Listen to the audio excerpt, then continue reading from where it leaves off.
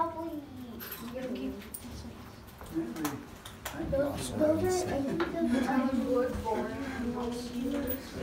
I think those are just made.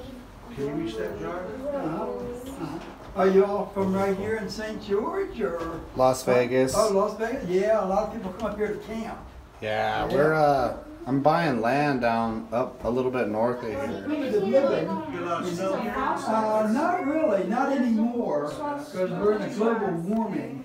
And uh, they're starting to thin out everything because the California burned and now we could be next. Oh, I got you, yeah. So they're trying to thin it out Dang, I never saw because they one. predict, uh, we're probably not gonna get any more snow this year either. We got very little. Yeah. See, wow. A lot of wind and no rain and hot. Yeah. You're gonna go to Cuba? Yeah, oh yeah.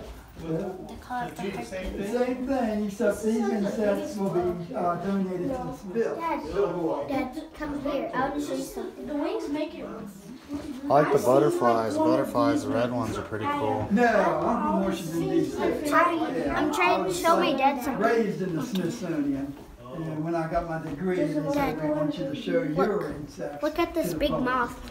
And I said, right well, here. I need a See the building. They mothman. said, well, we'll give you a little uh, Big moth. Okay.